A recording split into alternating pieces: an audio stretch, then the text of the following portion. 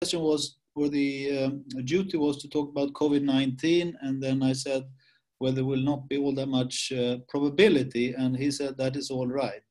I think you will have more probability when you hear the second and third uh, talks by Amaury and Emmanuel. Uh, and I could also say that I have done work on epidemic spreading models, which include quite a bit of uh, probability. For instance, now I'm finalizing a paper together with Frank Ball, where we look at an epidemic spreading on a network, a social network, where we have uh, preventive measures in the sense that if you're connected to someone who is infected, then you uh, either drop that edge with a certain probability or you rewire the edge to another randomly chosen individual.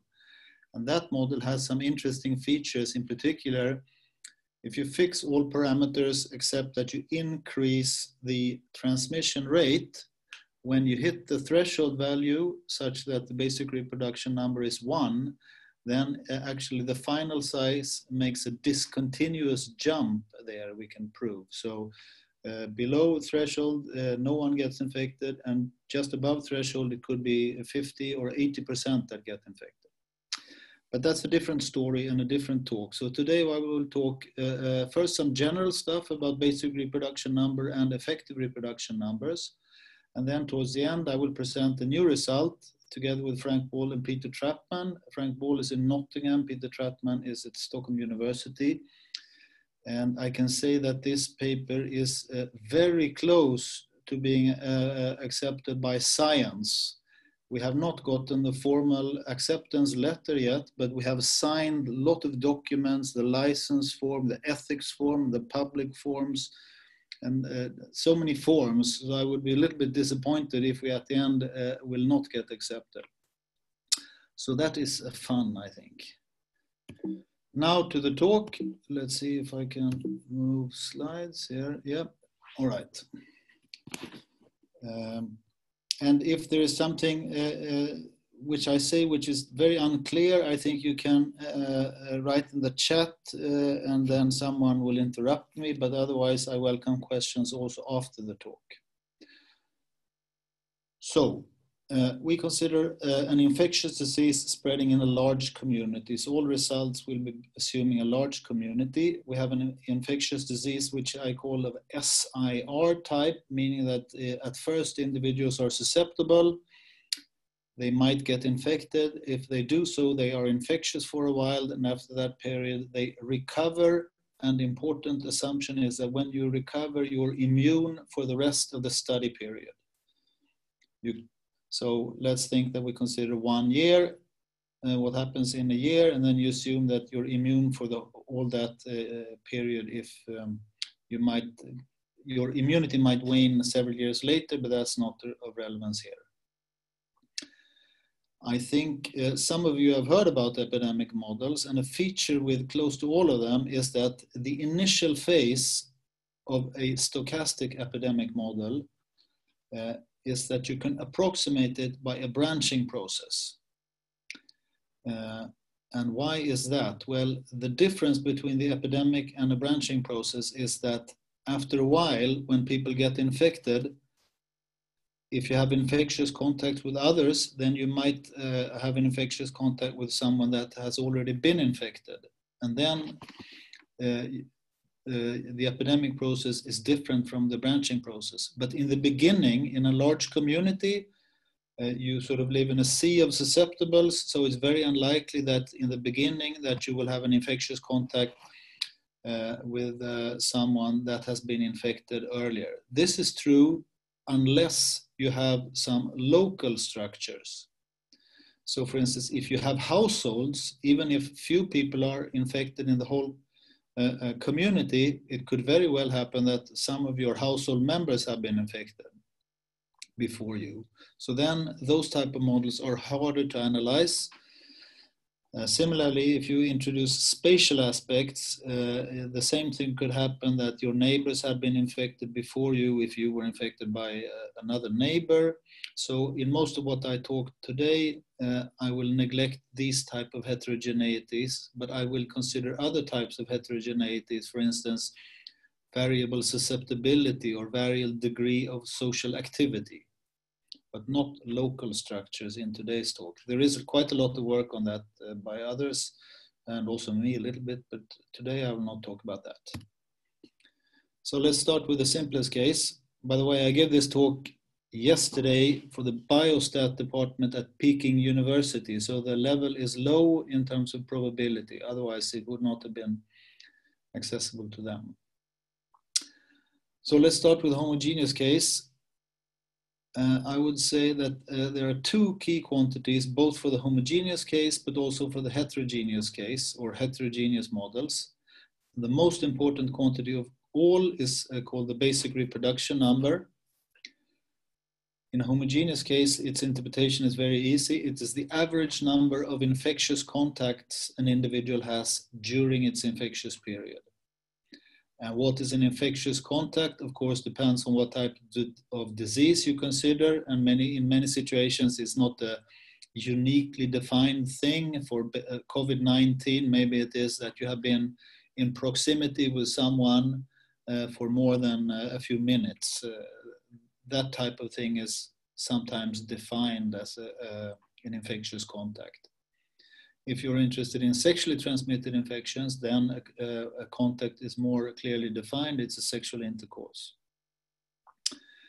It's very important to have in mind that R naught not only depends on the infectious agent, but also on the community in which it spreads. So I get a little bit disappointed when people say, what is R naught for COVID-19? I think the, the question you should pose is, what is R naught for COVID-19 in this region, because it clearly is different in different regions. The most important quantity uh, is that uh, if R naught is uh, larger than one, there is a possibility of a big outbreak, whereas if R naught is smaller than or equal to one, uh, that is not true. So R naught is the mean of the offspring distribution. So this corresponding result applies is taken from branching process theory. Another important quantity is called the generation time distribution. So R naught is a real number, but the generation time distribution is a distribution. So it uh, describes a random variable, which you might call capital G, and this is the time between getting infected and infecting others. And of course, it's not the same every time you get infected, so it has a, it's a random uh, variable. Perhaps it can be described by a, by a PDF or if, uh, something else. So, for instance, uh, thanks to Peter Jagers, but also others, uh, there are a lot of results that you can use from branching process theory uh, to state things about the epidemic if this epidemic, uh, if the community is large. So there are limiting results saying that as the population size tends to infinity, the epidemic behaves according to certain uh, uh, suitable branching process.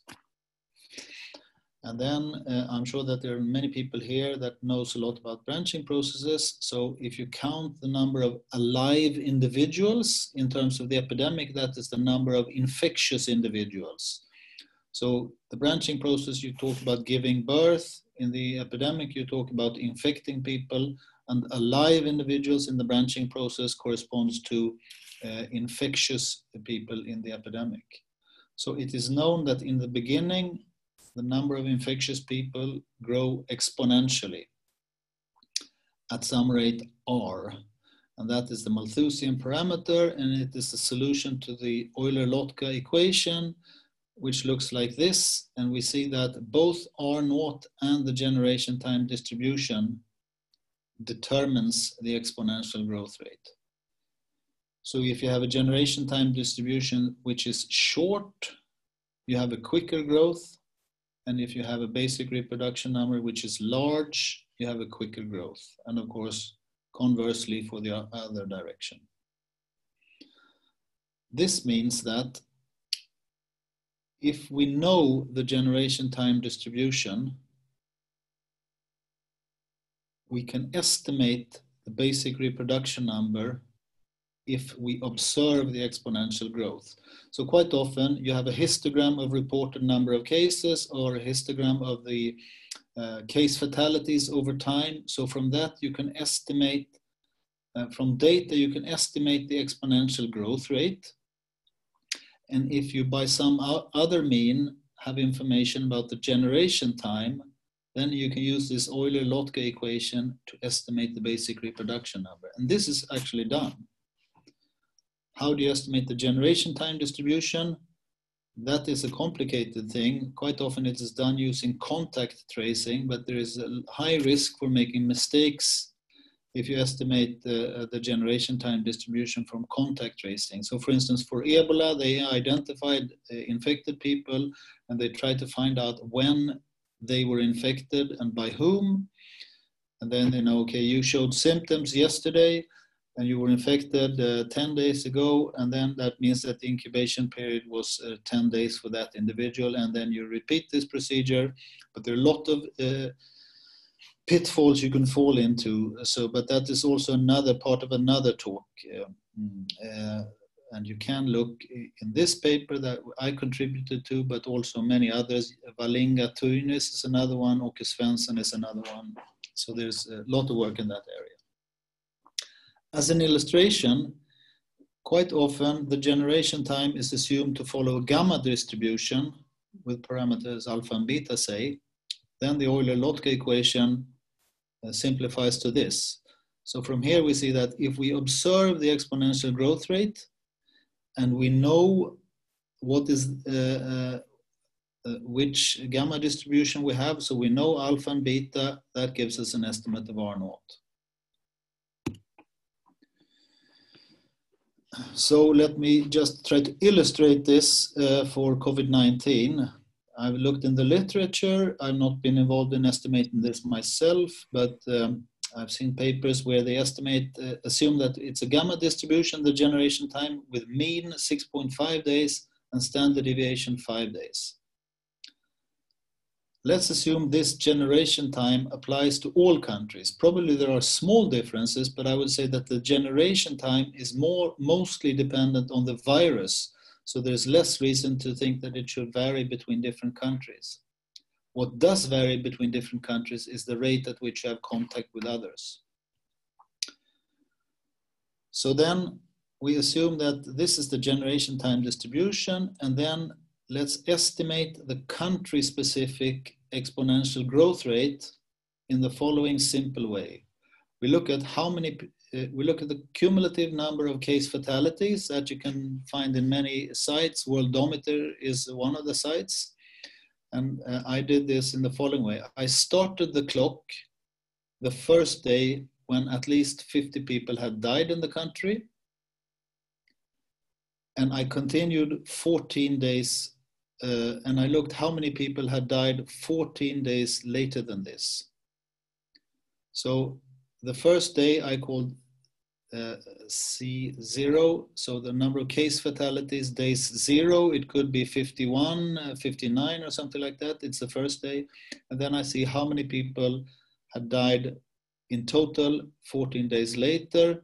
Then the estimate of the exponential growth rate is simply this uh, has this expression, uh, easy expression. The division by 14 comes from the fact that we look uh, what happens during 14 days. Uh, so I did this for uh, several countries in Europe, which you will see on the next slide. And the typical times were the first half of March to the end of March, but it was also always 14 days. Italy was a bit earlier, and the other was. Why did I choose these numbers, by the way? Well, I did that because when 50 people have died, up somewhere around 5,000 to 20,000 people have been infected. I don't know exactly, that depends on the um, infection fatality risk, but somewhere in this ballpark of people have been infected. That's when I start the clock, and then I see what happens up until 14 days later. So at least it's not in the very, very beginning of the epidemic, because during the very, very beginning, often special things happen, so I try to avoid that. That's why I started only when 50 people had died, and then I went on. So I will skip Norway and Denmark. I will not talk about that. uh, because uh, they had two very few case fatalities, so I did something different from them, but I will not talk about that, so don't look at those numbers. So focus on these five numbers. Uh, sorry, five countries. I write the countries uh, within brackets or uh, uh, within quotation because I don't think it applies to all of Sweden, for instance. In the beginning, it was only in Stockholm, or more or less only in Stockholm, that uh, people got infected. So maybe it should it's better to write Stockholm here. I'm sure that in northern Sweden, the basic reproduction number is very different from this. Anyway, using the generation time distribution that I told you, this generation time distribution, and this estimate of R naught, where I took these numbers from Worldometer, and this Euler-Lotka equation, I got an estimate of R naught looking like this. So for Sweden, the basic reproduction number was estimated to 2.5. Germany and Belgium, I, I have all countries in, in quotation because I don't know exactly where the beginning of the epidemic took place. But I don't think it's the same all over the country. Anyway, Germany and Belgium seem to have around the basic reproduction number around three. UK 3.5, and the biggest was Spain, which had a basic reproduction number 4.3. The last column is called the, vac- the critical vaccination coverage. Uh, I will come back to that later, but it is the fraction that you would have, if these are the basic reproduction numbers, it's the fraction that you have to immunize before the epidemic comes in order to avoid a major outbreak. So why is it so? So if if you on average infect 2.5 persons, if you vaccinate 60% of them, only 40% are still susceptible. So then 2.5 is multiplied by 0.4, which gives the value 1. So that is the critical vaccination coverage. And similarly, in Spain, you would have to vaccinate as much as 77% in order to obtain critical vaccination, uh, herd immunity. Herd immunity means that also the others are protected because there will be no big outbreak. Now let's talk a little bit about the heterogeneous community. Several of the results I said earlier mm, still apply. Uh, one big difference is that R naught now has a, different interpretation. Now R naught is should be interpreted as the tip, uh, sorry, it is the average number of infection caused by a typical individual during the early phase of the epidemic. What do I mean by typical individual? Well, if you have different types of individual, of course, uh, types that are more uh, numerous should be given higher weight, but also types that are more likely to get infected should be given higher weight. Uh, and for instance, if you categorize uh, individuals into uh, um, different types, then you comp can compute the mean offspring matrix, where Mij denotes the number of J individuals that one I individual infects during the early stage of the epidemic. And then from branching process theory, the basic reproduction number is the largest eigenvalue to, these matrix, to this matrix. It's more complicated, as I said earlier, if you have local or spatial structures. I will not talk about that. Uh, uh, it's rather pedagogical to think of this applies to homogeneous case, but I think it's also partly applicable to a heterogeneous scenario. Uh, it's, uh, it's instructive to think of R naught as a product of three different quantities it is the average number that you infect, but you can think of it that that is the probability to infect someone if you have a contact, multiplied by the rate at which you have these contacts, multiplied by the length during which you are infectious. Everything in, in terms of means. So in particular, if you want to uh, insert some preventive measures, you can sort of attack either one of these three factors, or of course you can also attack all three, and you want to reduce them. So how do you reduce the probability of transmission given at contact? Well, for COVID-19, it could perhaps be wearing a face mask. Uh, for STIs, it is wearing a condom. So there are different ways of reducing P. How do you reduce the rate of contact? Well, for instance, social distancing is one way of reducing the rate of close contacts. How do you reduce the length of the infectious period? Well, if you identify infected people quickly and isolate them, of course, they are still infectious, but from a spreading point of view, they stop being infectious if they are isolated. So that would shorten the, the effective infectious period. So suppose that we are able to reduce uh, by, by means of different preventive measures, suppose we're able to reduce R naught by a factor C. So C is the reduction, so 1 minus C is the remaining part of the reproduction number. That means that with these uh, preventive measures, we have what you might call an effective reproduction number, and it equals the original one multiplied by 1 minus C. So 1 minus C is the, the remaining fraction of contacts that had not been taken away due, uh, from preventive measures.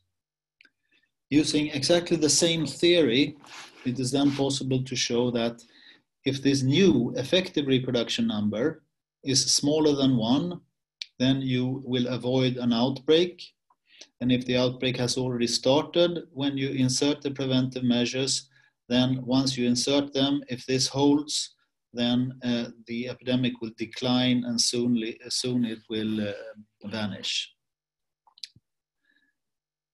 So this equation corresponds to uh, this equation. So the, uh, I said this equation is probably the main reason why it's important to know what R naught is. It suggests how much efforts we need how much effort we need to put in in order to uh, prevent or stop an outbreak. So this was under in the homogeneous case. Now look, let's look at. Whoop. Yes. Okay.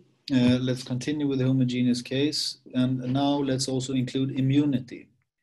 Uh, probably most of you know that Stockholm did not, uh, sorry, Sweden did not have a, a, complete lockdown. I'm talking about Stockholm here, and not because uh, I come from Stockholm, but because my estimate was for Stockholm rather than for all of Sweden. So I think that uh, in Sweden we had quite a lot of uh, voluntary preventive measures which clearly reduced the reproduction number, but I think it reduced it not it did not reduce them down below one, is my guess. So still we probably had the effective reproduction number larger than one, and we did see a growth even after the uh, preventive measures were put in place. But then, as the epidemic grows, immunity builds up. Uh, and then, once immunity builds up, more and more of the contacts that people have will be with already infected people. So, after some time t, the effective reproduction number is the original one multiplied by the uh, or reducing uh, uh by a factor c due to the preventive measures, but then we have to multiply by the fraction of susceptibles as well. And if we, we start with everyone being susceptible, but this thing is declines, so eventually, as more and more people get infected, this quantity declines, and these are independent of uh, time, if we keep the restrictions on, that is. So eventually, this quantity will drop down below 1 because SOT becomes smaller and smaller. And whenever this happens, the epidemic will start declining and after some time it will uh, vanish or stop, more or less stop. I think currently in Europe, this is a situation in, in all of Europe now. It is definitely the situation in Sweden on, on a national level there are probably a few regions uh, where uh, you have uh, effective reproduction or a daily in, in, in reproduction number which is larger than one, but we are clearly on a decline now.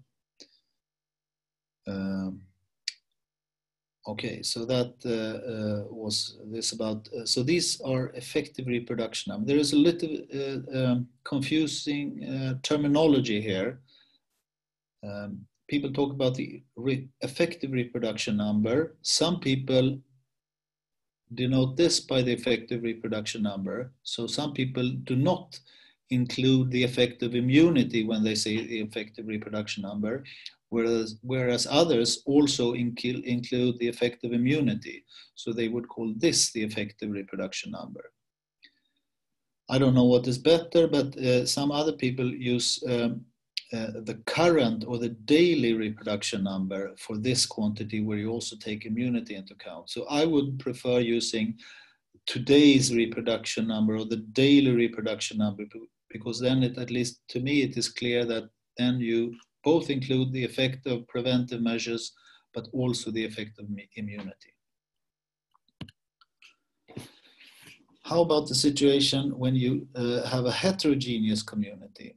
So here is a bit more less mathematically rigorous notation. Let I of t somehow represent the composition of individuals that get infected around t. So I, I of t is not, script I of t is not the number of infected, but sort of it represents the typical composition of individuals getting infected at time t.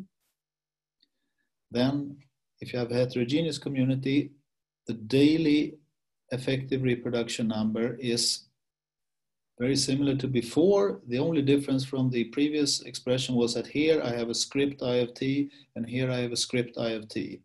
So this R naught I of t is then how many people, those who get infected today, would infect if there was no preventive measures and no immunity.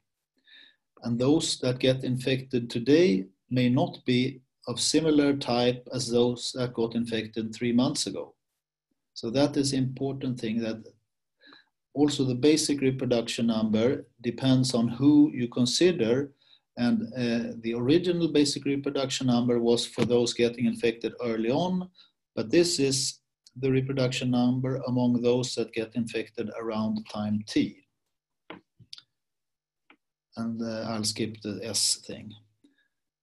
And it is clearly the case that for nearly all epidemic models, the people that get uh, infected early on typically infect more individuals than people getting infected later in the epidemic. The reason for this is that typically the socially and outgoing people are the ones that get infected early.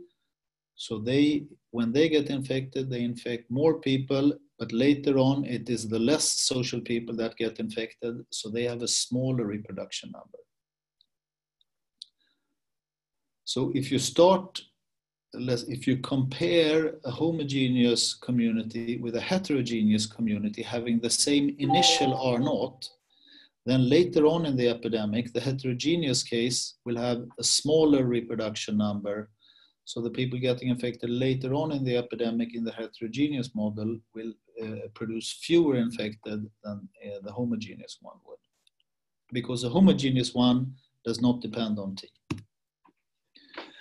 So here is a plot of the number of infected people over time for a homogeneous model, and here is a heterogeneous model. I think, yes, here it is. Both of them had R not equal to 2.5 if I remember correctly, the heterogeneous model I, I, I, chose to plot was one where half the community was twice as susceptible uh, uh, compared to the other half. There is also difference in the final size for these two situations as well. Now some words about herd immunity. So now we are approaching the, the new result, which I talked about. So when the daily reproduction number drops below the value one, the epidemic will decline and eventually, or quite soon, die out. Probably doesn't die out completely, but transmission drops quite quickly after this. Um, which means that whenever this happens, the people that have not yet been infected will not exactly when this happens, but soon thereafter, they will also be protected because transmission stops. So this means that with the current measures put on and given the epidemic up until now, there is sufficient immunity in the community for the epidemic to die out, thus protecting those that are not yet infected. So, whenever this happens and fixing the preventive measures, it means that immunity is high enough for, to protect the susceptibles. But this is not called herd immunity. Herd immunity is a situation where there are no preventive measures in place. So the question relating to herd immunity is are we safe if we go back to normality? And going back to normality in terms of preventive measure means that we set C equal to zero.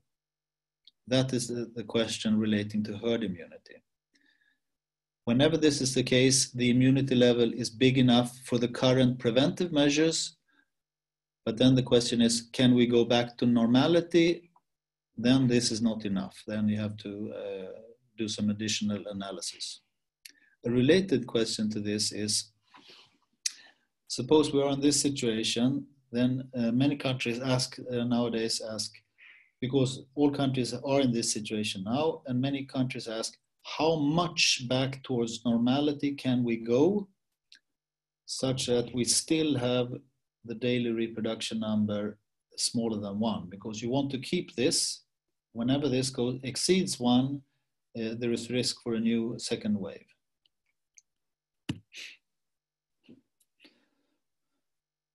Uh, now some words about the classical herd immunity, which I discussed also in the beginning when I showed the table of the reproduction numbers and the, the classical herd immunity level. So this is an old result. I don't know who, who should be contributed, but I know it is in the very famous uh, book by Anderson and May from 1991, and I'm sure that these two authors have written about it in the 80s, but maybe it's earlier. I should know my history, but I don't. anyway, the result is uh, the following that whenever the effective reproduction number is smaller than one, there will be no outbreak. That's for clear, for sure, which means that if this fraction is immunized, uh, there will be no outbreak. Or in terms of vaccination, if we vaccinate individual uniformly in the community, assuming a perfect vaccine, whenever we vaccinate a bigger fraction than this, the whole community will be protected. So we have what's called herd immunity. If we vaccinate this fraction or more, we will have herd immunity. For instance, for measles, R naught is of the order is about 15. So 1 minus 1 over 15 is about 93%.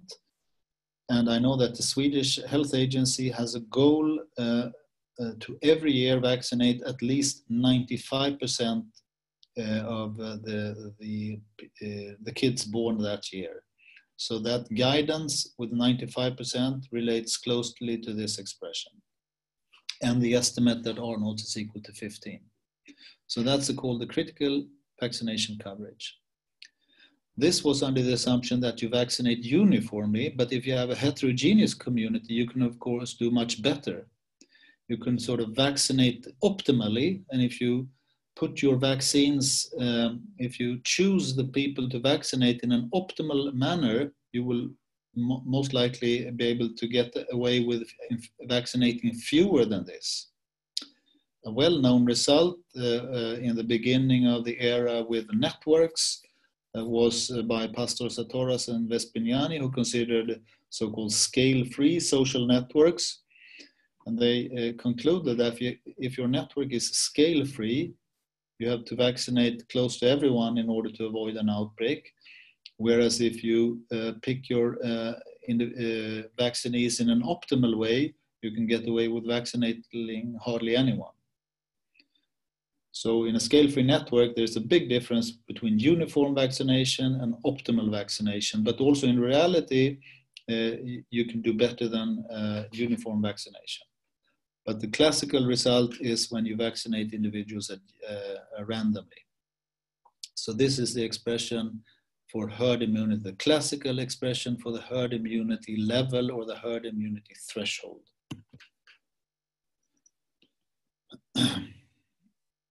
so uh, now to COVID-19. Uh, the people, the relevant herd immunity question for COVID-19 is the following, and I want to stress that I think this is the first time that this type of question has ever been posed. And it's the following How many people must have been infected during a mitigated epidemic outbreak in order to avoid a second epidemic outbreak or a second wave once we lift all the preventive measures? I think uh, there has never been, uh, at least on a global scale, an epidemic where where all countries have changed their behavior in either a mitigated or a lockdown uh, scenario. So I think this, the reason why our result is new is I think that this uh, question has never been posed earlier. So the scientific scenario that we have looked at is uh, considering the COVID-19 outbreak in a country that has mitigation or lockdown and gradually exit towards normality, then the question is, when will herd immunity kick in? Uh, assuming that we know what R naught is. And in my illustration, I will take R naught equal to 2.5, but that's just an illustration. What is the answer? Well, one answer, the first sort of obvious guess would be that the answer is that we should uh, this will happen when 60% get infected because if you insert 2.5 here you get 60% that's a classical herd immunity. And this is what has been written in nearly all scientific papers that there's no uh, reason uh, it's impossible to wait to herd immunity because it's such a big fraction that has to get infected. Uh, so our result is that actually herd immunity will kick in earlier than this because this is not correct uh, if immunity is achieved from disease spreading, because when immunity is obtained through disease spreading, uh, uh, the people that get infected tend to be the socially outgoing people and perhaps also the highly susceptible people. So the people not getting infected are the less socially active and the less susceptible individuals. So in, in a sense, the immunity is it's not distributed in an optimal uh, fashion, but it's not distributed uniformly. So it is distributed somewhere between the optimal fashion and the uniform fashion. So for that reason, in, you need less immunity in overall in order to obtain herd immunity. And, our conclusion is that uh, it's a substantial difference. We, uh, we have a model which I will just described now, uh, which is not claimed to be the, the, the true model, but anyway, for that model, rather than 60%, the herd immunity threshold is around 40 to 45%. Gabriela Gomes at Liverpool University and her group uh, uh, published a related or qualitatively similar result independently. They were two days before us on medRxiv, but they had a rather different model. They only vary, they only looked at variable susceptibility, and their conclusion was that if the susceptibility varies a great deal, then the herd immunity level could be as low as 10 to 20 percent. None of us claim that these are the true values, but we just illustrate saying that there is a substantial reduction in herd immunity when it is obtained through uh, disease-induced uh, immunity. I think I will skip this slide because I more or less said it. So the, the, the reason is that immunity is uh, more efficiently distributed when it is obtained through disease um, than if you would vaccinate individuals at random.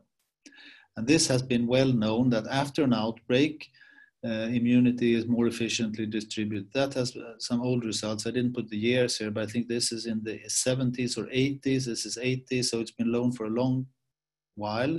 But it seems to us that no one except us and Gabriela Gomes realized that this is useful in this mitigation suppression situation that we are all under right now. So here is a model. We have six age groups and we have mixing structure according to a social study done by Jacco Wallinga and others. So we take the social structure from a published group on social, uh, where they have sort of measured how people interact with each other. And then within each of these age group, we categorize individuals into three different types. We say that 50% of them are, have normal activity, 25% have low activity and 25% have high activity. And those with low activity, they meet others half as much as the normal one. And the people with high activity meet others at a rate which is twice as those of the normal activity. This is, of course, a simplification, and we don't claim that this to be the true. I don't know if reality is more heterogeneous or less heterogeneous. So that is up for discussion, and I hope that others will continue this work to try to fit it to reality better. Anyway, somehow this sort of mimics network characteristics in the sense that some individuals are more connected to others and others are less connected.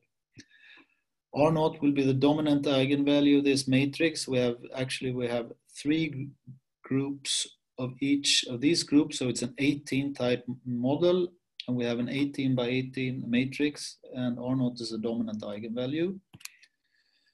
And then let's assume that preventive measures are put in place and we assume that everyone, all the types reduce their contacts by the same factor C. Rather than talking about C, I will talk about 1 minus C. So alpha is the remaining uh, uh, fraction of contacts. So it's an important assumption we make that everyone reduces their contacts at the same uh, uh, level. Uh, what happens if we start restrictions already from the beginning and have it to the end until the epidemic is over? That is illustrated in the following table. And in particular, we say we do it for different values of alpha if we set alpha equal to 1, for instance, then there is no reduction, then we will have a big outbreak. But after the outbreak is over, there will not be a second wave. Whereas if we take a very small value of alpha, there will be a very small outbreak. But then when we set alpha back to 1, there will be a big second outbreak. So we investigated what is the threshold here at which there will be no second outbreak. And then we investigate how many people will have been infected if we use this particular choice of alpha. And here comes the table, so I will focus here when R naught is 2.5 and when we have both these structures, the, the fraction getting infected at the optimal level of reduction is 43% as compared to 60% if you had immunized individuals uniformly in the community. Finally, or no, not finally, but close to finally, I see my time is uh, soon out. Uh, we looked at, suppose now that we did not do it from the start to the end, but that maybe it started February 15, we inserted the restriction momentarily uh, one month later, and then we stopped the restrictions momentarily uh, June 30. Then it looks like this. Here is a curve for no restrictions. Here is a curve for moderate restrictions medium restrictions, and harsh restrictions. So this is over time, and the next slide is the accumulated. So we see that if we have very hard restrictions and then we suddenly lift them here, then there will be a big second wave, whereas we, if we have less restrictions, there will no, be no big second wave. And we see that eh, if you look at the accumulated number, which is a little bit surprising, we will see that the purple curve actually ends up at a higher level than the yellow curve. So it means that if we have hard restrictions and then drop them suddenly, of course this is not very realistic, very realistic, but then there will be a big second wave, so there will be an overshoot. So you will actually, uh, this purple line is never better than the yellow line because you have hard restrictions, harder restrictions than the yellow, and you end up with more people getting infected.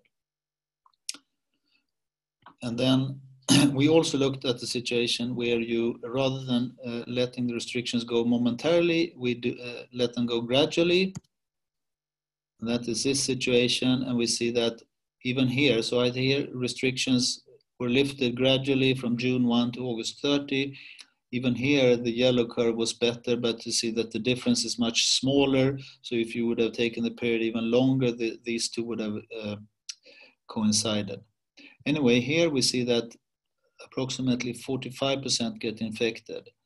Uh, the reason that it's not 43, which I claimed, is that the preventive measures were all inserted only after one month. My last slide, to conclude, uh, the result, our main result is that the disease-induced herd immunity is substantially lower than the classical herd immunity level. How much lower that we don't know, important to find out. How about other uh, heterogeneities? If you have households, if you have schools, workplaces, spatial things and stuff, we have sort of considered this little bit, little bit, but not rigorously, and we think that most of these have the effect that the difference will get even bigger. How about if you have non-proportional restrictions? So some groups change their behavior more and others less.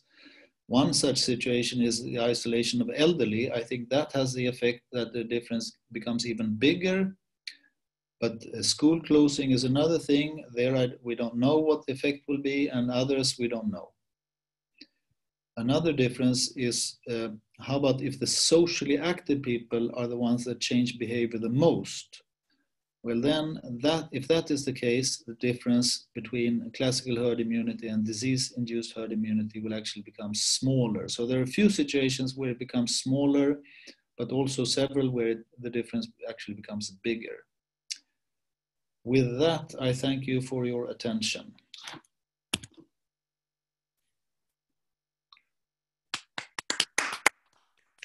Thank you very much, Tom. Uh, I don't know how much time you have now, but uh, I have people already who want to comment upon the lecture. So should we just go on? Yes. Okay, so uh, Pascal Maillard, could I ask one of those who uh, can handle the discussion forum to unmute him? I, I think it's okay. I think I'm I'm unmuted. Okay, yes, um, thank you very much, Tom, for, for a wonderful talk.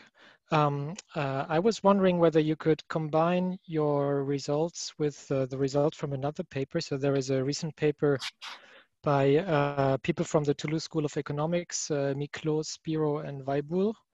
Um, so there they looked at a homogeneous population and they looked at different ways of how you can uh, uh, uh, change the, the, the transmission. So different ways of uh, restrictive measures. And um, so what in particular they looked at what is the optimal way to to uh, use uh, restrictive measures if you have a constraint, for example, on the number of uh, ICU beds. And if I remember well, they also got different immunity levels at the end, uh, depending on uh, how you use restrictive measures.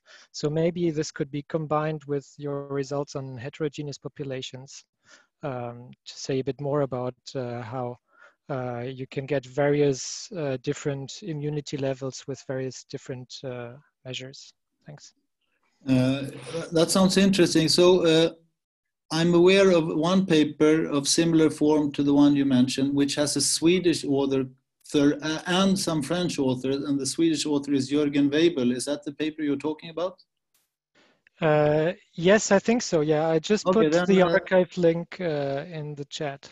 Yeah. Okay. So then uh, I have I've looked at that paper, which I think is very interesting. I was surprised that it the resulting optimal strategy is very obvious to me, but the proof is uh, uh something like 25 pages, which surprised me.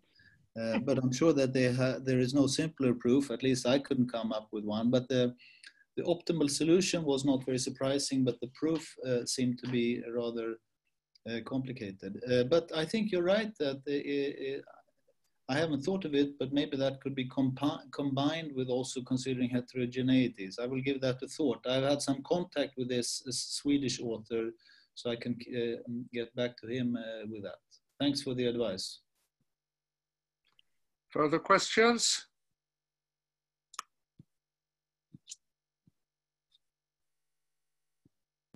You can either put your hand up or you can write it in the chat box. Okay, I, I have a question, I guess. Yes. Please Uh, go. So, uh, hi.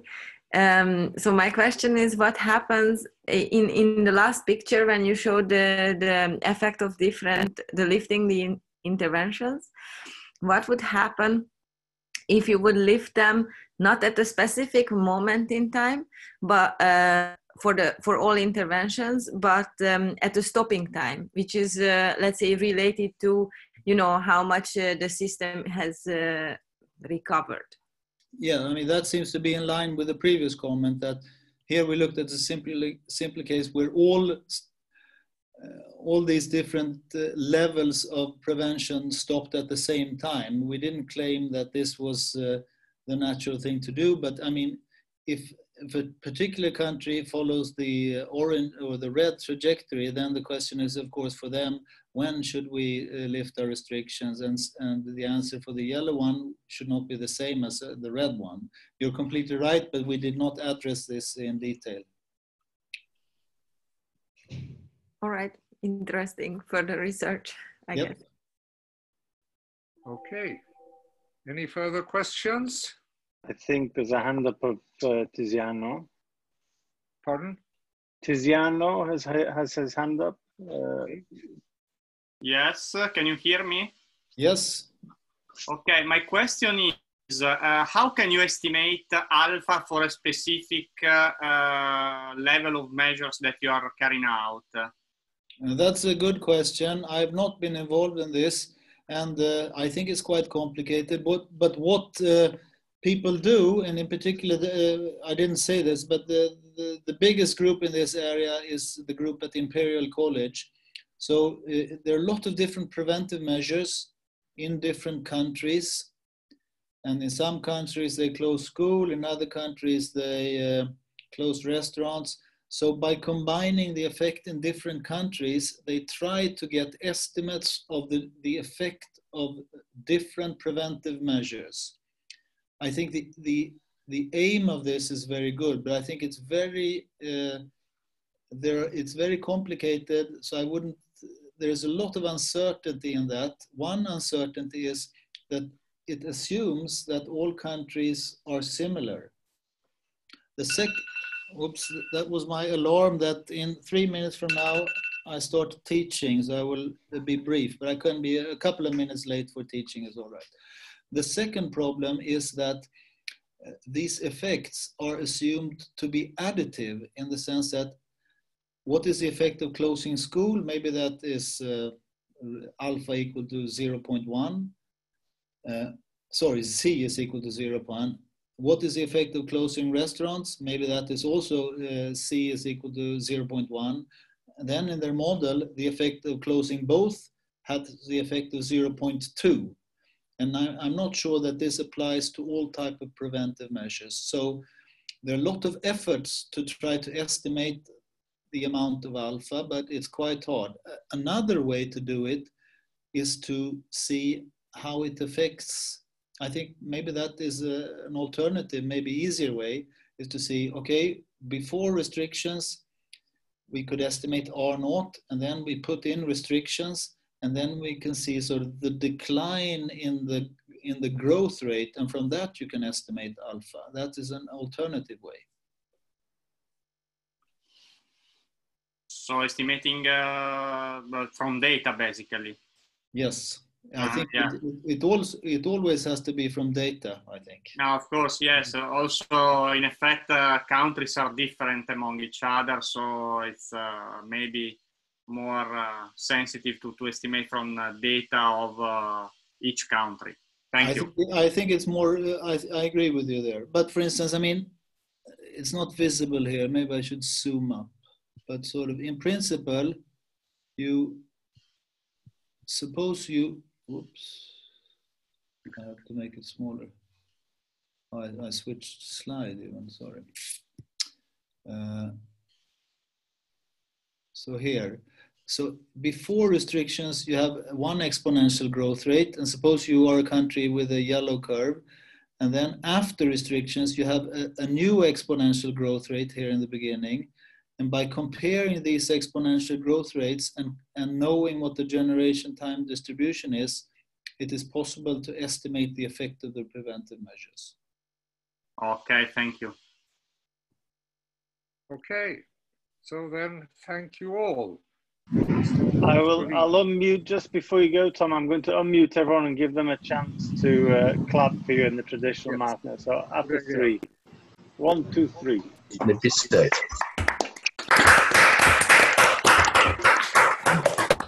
Thank you very much. Unfortunately, I have teaching, so I will miss Anna-Marie's talk.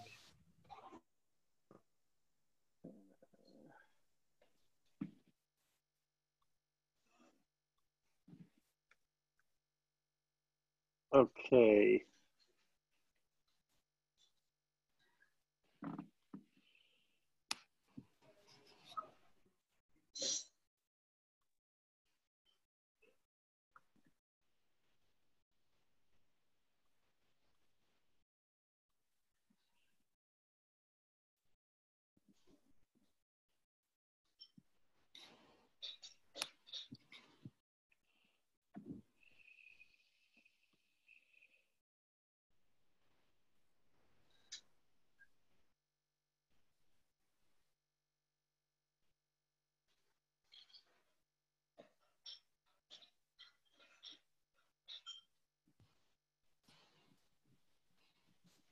Andreas, can you see my slides? Yes, slides are good.